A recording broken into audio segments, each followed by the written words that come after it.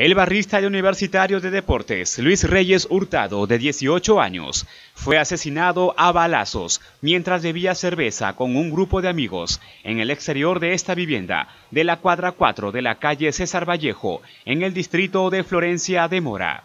Y sus amigos de él le han dicho que han llegado en una moto y de frente han disparado a él, ahí han estado y... grupo que estaba ahí. Sí, le ha caído a mi hijo, todo casi las balas él. A él y al Él, sí, como él ha estado de espalda, dice, y, y le ha caído a él. La policía sospecha que el crimen fue perpetrado por rivales y barristas de Alianza Lima. Los deudos lo descartan. No, no, no sé nada yo de eso. ¿Su hijo andaba en varas o no? No, no, no ¿A qué se dedicaba su hijo? Trabajaba en zapatería. La víctima laboraba en un taller de confección de calzado.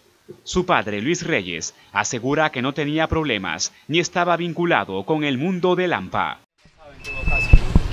No, no, ¿Alguna vez se le ha comentado un tipo de amenaza, algún problema personal? nunca, nunca.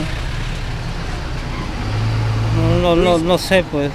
El violento hecho dejó además un adolescente de 14 años herido de consideración. Ambos fueron trasladados al hospital regional.